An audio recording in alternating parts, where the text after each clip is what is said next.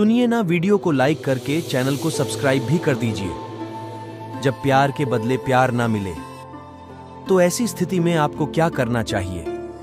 अगर प्यार नहीं मिल रहा है, आपको इतना प्यार देने के बाद भी, इतनी चाहत के बाद, इतनी मोहब्बत के बाद भी, अगर आपको बदले में मोहब्बत नहीं मिल रही तो आपको क्या करना चाहिए?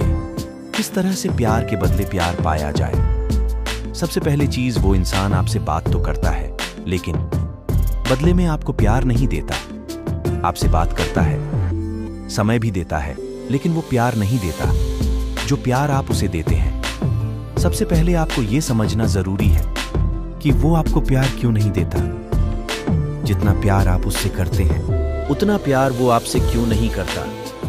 कई बार आपकी वजह से भी लोग आपको प्यार नहीं करते। एक ऐसी चीज़ आप करते हैं, जिसकी वजह से लोग आपको प्यार नहीं देते। आप उनके पीछे पीछे भागते रहते हैं। किसी के पीछे भागना, उसके प्यार की भीख मांगना कि मुझे प्यार करो। मुझे प्यार दो बार बार उसे बोलना कि मैं प्यार करता हूँ तुमसे। तुम भी मुझसे प्यार करो। मुझे प्यार दो। किसी का प्यार पाने के लिए यह करना अच्छी बात नहीं है। ये इसलिए अच्छी बात नहीं है, क्योंकि इससे आपकी वैल्यू गिरती है। प्यार तो उस चीज़ से होता है, जो कीमती होता है, जिसकी बहुत अहमियत होती है।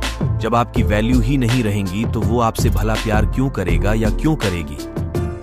इसीलिए कई बार लोग आपको प्यार नहीं देते, क्योंकि आप उनके पीछे पीछे भागते रहते हैं। आपको करना यह है कि आपको उसके पीछे नहीं भागना है, उसके लिए हर समय मौजूद नहीं रहना है।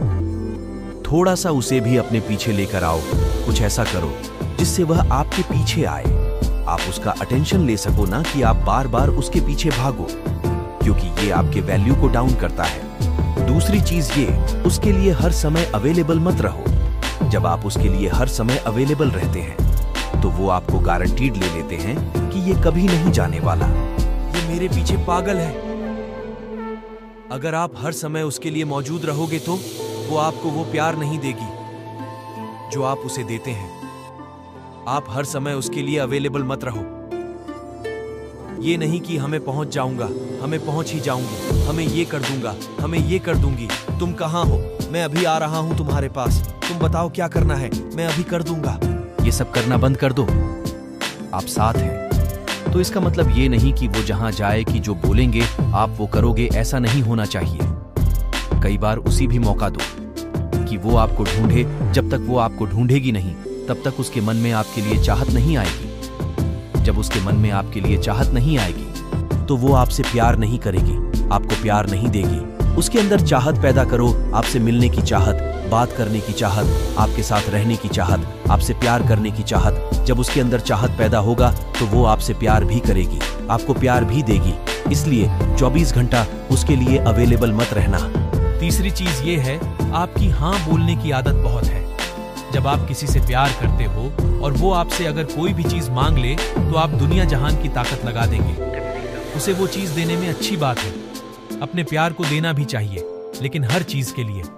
हर बार, हर समय हाँ बोलना गलत है। कभी कभी ना बोलना भी ज़रूरी होता है।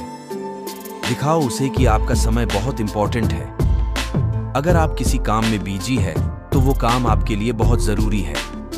कभी भी उसे अपनी फ़र्स्ट प्रायोरिटी मत बनाना, जब आप किसी को फ़र्स्ट प्रायोरिटी बना लेते हो। उसके लिए कभी ना नहीं करते हो तो वो आपका इस्तेमाल करना शुरू कर देगी।